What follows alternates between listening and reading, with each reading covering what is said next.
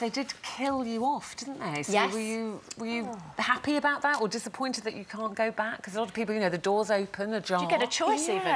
No, you, well, no, you don't get a choice. I mean, I kind of said, look, I want to go. It was about a year before I left. Um, and it's obviously up to you guys whether I die or not. Um, and a few months later, the producer said, right, we are going to kill you off. And I was like, OK. Well, that's quite nerve-wracking, yeah. but OK, let's go for it. And do you know what? It's the best thing ever because otherwise I'll be looking over my shoulder all the time thinking, Yes. what if? And now I don't have that. I've, got, I've got, got to move forward. Yeah. You have- But were there any? Sorry, were there any other chances earlier on in the career with Emmerdale that you thought I need to go, or opportunities that you turn down? From time to time, you know, but it's been perfect for me because I've got my daughter Mia, who's 10 now, and over that time I've kind of been at home, so I've been bringing her up and working at the same time. So it's been the perfect job for me. Wonderful, right, yeah. right, yeah. Yes, it's been ideal, but now it feels... it's- Timing's right. Yeah, definitely. But you could go back. Even though you I say could. you, Yeah. you say you you know we said at the beginning oh well you can't go because you clearly killed yourself but uh, there's quite a history of people who appear to be dead coming back in Yeah. if you could come back who would in you the come shower.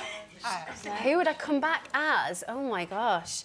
Um, probably like a really messed up version of myself, of not of not of me, of, Katie, of myself, of Katie, of the character. That would be quite good. Yeah.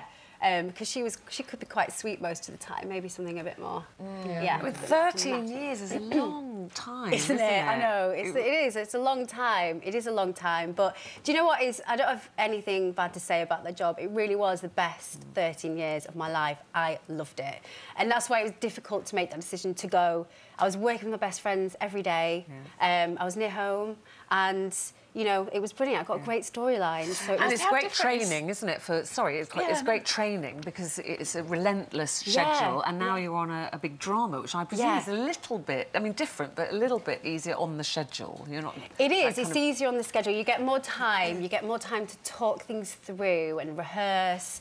Um, you know, and chat with the director, like in an hour's session, just with the director, me and him. Which on Emmerdale, you don't, you just don't What- get that time. you know. Give us a little, a rough idea. I know you can't give the story Yeah, away it- too much. Um, so I play Lucy. It used to be Emma in the original script. That's why. That's- I knew yeah, that. don't I knew that.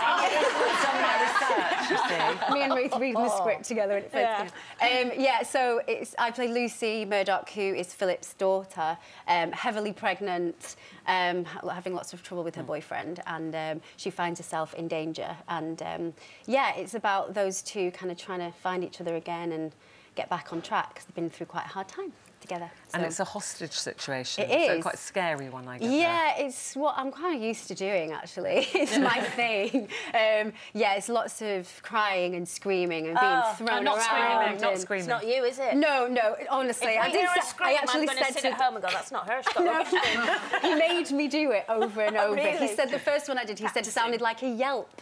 so I was like, okay, I'll try again. um, but yeah, it was good. It was really good fun. Yeah. And that yeah. starts uh, next Wednesday, the 9th of December. Now, did you get Christmas off? Are you at home? Have you done your tree yet? Anything happening?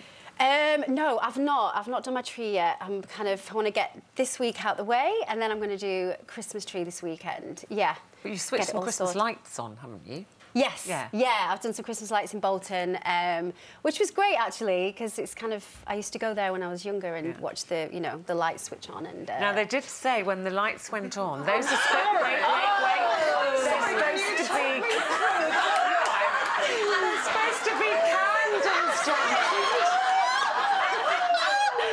So this is, I just got, I got a text message from my sister actually going, I'm sorry, Sammy, did you actually see this? And I was like, no. Thank God I didn't. Um, on the It's candles and berries, obviously. Obviously. Obviously. What I did people know. do when those lights went Well, on? I didn't see it at the time. It was my Maybe sister was that said she'd seen it in the press after about something, and I was like, oh my God, right, okay. Oh, well, happy Christmas friendly to them. Christmas Lovely. family Thank you. atmosphere. Yeah. Thank you very much. Sammy Winward, everybody. Thank you.